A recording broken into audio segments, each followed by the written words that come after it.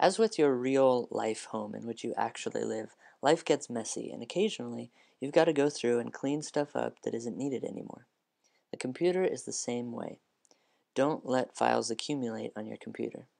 When you're ready to clean up, find the files you don't want in your Finder and drag them down to your trash can. The Downloads folder is a good example for this. Many users don't realize that everything you download from Safari as you browse the web, or from the Mail program if you use email, all of that is downloaded into your Downloads folder. Therefore, files tend to accumulate over time when people don't clean up all the files that they've downloaded. Go to your Finder window and open your Downloads folder.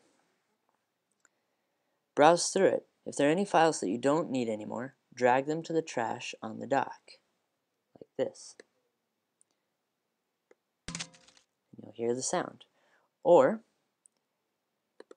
select the file, and as you'll see under the menu bar under File, Move to Trash has a keyboard shortcut. This is Command Delete.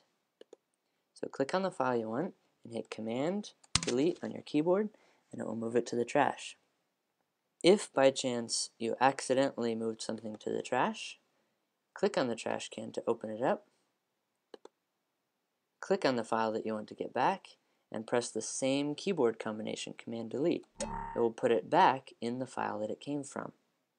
I'm going to move both of these to the trash. I'm going to hold down Command to select both at the same time, and I'm going to press Command Delete to move it into the trash can. I'm going to close my downloads window. Now you can see the trash can has my three items in it. But, just like the trash cans in your real life home, the job ain't done yet. And as your mother used to say, you gotta finish what you start. It ain't over till it's over, and the fat lady hasn't sung. Or at least that's what my mother used to say. Well, no, she didn't actually. Anyway, you'll still need to take the trash can out to the curb so it can be permanently taken away. If you'd like to look through your trash can before you throw it away, and who doesn't love rooting through the trash, click once on the trash can on your dock to open it, browse through the files. Otherwise, click the empty button in the top right corner, or click Command Shift Delete on your keyboard to empty the trash. Are you sure you want to? Yes, empty trash.